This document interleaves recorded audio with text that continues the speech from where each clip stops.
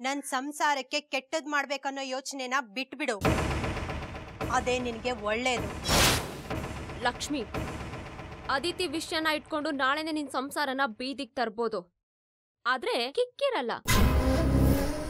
ಎಲ್ಲಿ, ಯಾವಾಗ, ಏನಾಗತ್ತೆ ಅಂತ ಗೊತ್ತಾಗ್ಬಾರ್ದು.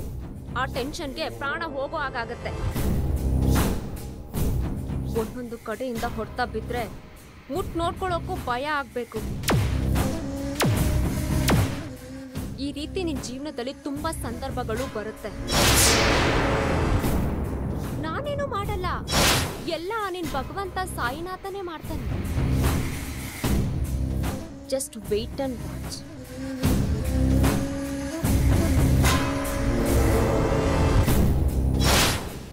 ಆಟ ಮುಗೀತು ಅಂತ ಅನ್ಕೊಂಡಿದ್ದೆ ಅಲ್ವಾ? ಅಸಲಿ ಆಟ ಈಗ ಶುರು. ಇದ್ರಲ್ಲಿ ನೀನು ಗೆಲ್ಲೇಬೇಕು. ನೀನ್ ಗೆದ್ರೇನೆ. ನಿನ್ನ ಸಂಸಾರ ಉಳಿಯೋದು. All the best bye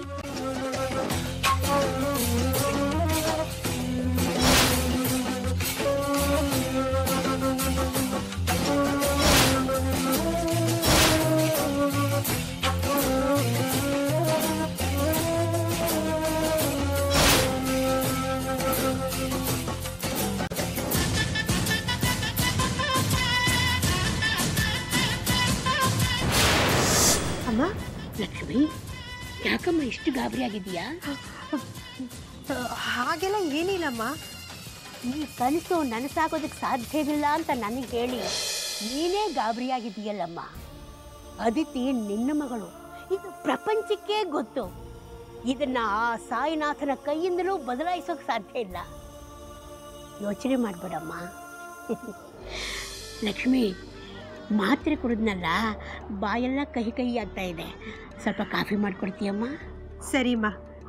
ಬಾಮ್ಮ.